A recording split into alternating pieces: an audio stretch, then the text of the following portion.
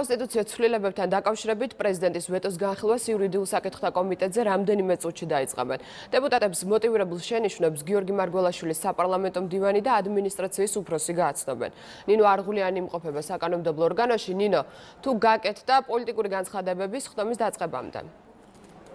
თამთა პოლიტიკური განცხადებები საკანონმდებლო ორგანოში უკვე გაკეთდა მათ შორის რამდენიმე წუთის წინ პრეზიდენტის ადმინისტრაციის ხელმძღვანელმა განაცხადა რომ გიორგი მარგველაშვილის დავალებით ხვალ სესიაზე წასვლას აპირებს როგორც ადმინისტრაციის ხელმძღვანელი ასევე უშიშროების საბჭოს მდივანი და პრეზიდენტის მრჩევლები თუმცა დღეს როგორც აბაშიშვილი ამბობს პარლამენტის ადმინისტრაციიდან დაუკავშირდნენ პრეზიდენტის ადმინისტრაციას და უთხრეს რომ ხვალ მათ პრეზიდენტის სამუშაო ოთახში ვერ შეუშვებენ ვერ შეუშვებენ გიორგი აბაშიშვილი იმედოვნებს, რომ პარლამენტის აპარატის მხრიდან ეს არის უბრალოდ გაუგებრობა და ეს საკითხი მოგვარდება, ვინაიდან როგორც აბაშიშვილი განმარტავს, ისინი ხვალ პარლამენტში ჩასვლას აპირებენ და პრეზიდენტის სამუშაო ოთახში შესვლას გეგმავენ. რაც შეეხება ვეტოს, სწორედ ამ წუთებში იწყება იურიდიული კომიტეტი, სადაც ერთ-ერთი მნიშვნელოვანი საკითხი სწორედ ვეტოს დაძლევის საკითხია. ანა დოლიძე წარადგენს მოტივირებულ შენიშვნებს იურიდიულ კომიტეტზე და როგორც პრეზიდენტის საპარლამენტო მდივანმა მედიასთან განაცხადა, მას იმედი აქვს, რომ პარლამენტი მათ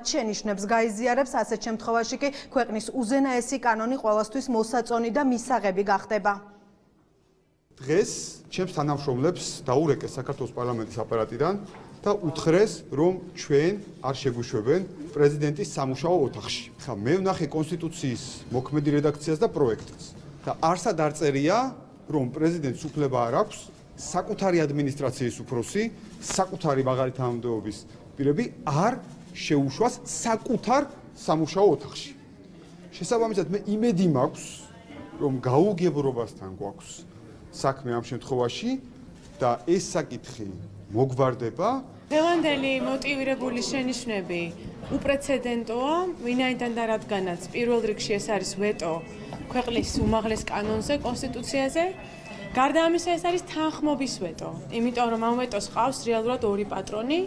ეს არის უმრავლესობა, რომლის ხუთი პრინციპული საკითხი არის გათვალისწინებული ამ ეტოში და ასევე არის ოპოზიცია, რომლის 20 პარტიისაგან შემდგარმა გუნდმა მიიღო მონაწილეობა ამ დოკუმენტის შემუშავებაში. შესაბამისად, რა თქმა უნდა, იმედი გვაქვს, რომ ამ თანხმობის შანსს ჩვენი უმრავლესობა არ გაუშვებს ხელიდან და გულისხმობით მოეკიდება.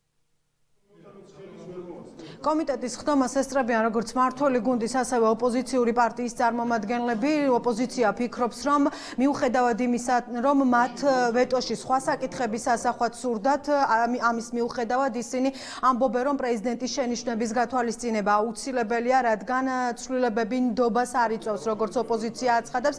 რაც შეეხება მართულ გუნდს მართული გუნდის განცხადებით პრეზიდენტმა გაუშვა შანსი ხელიდან პოზიტიური როლი შეესრულებინა შეესრულებინა საკონსტიტუციო ცვლილებები ცვლილებების პროცესში, სწორედ ამიტომ ისინი ხვალ ვეტოს დასაძლევად ემზადებიან. ვიზიარებთ ვეტოს და იმ შენიშვნებს, რომლებიც ასახულია პრეზიდენტის ვეტოში.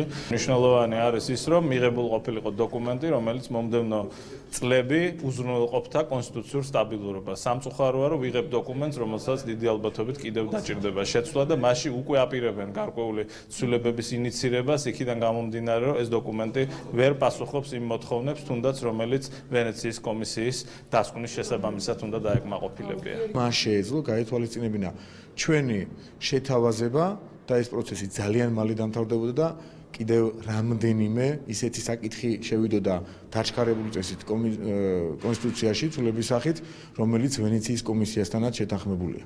აქედან გამომდინარე, ჩვენ უნებრივია იცით პროცედურა და ვეტოს დააძლევთ და ამ საკითხებს ნებისმიერ შემთხვევაში ახალი მცირების სახით მივიღებთ.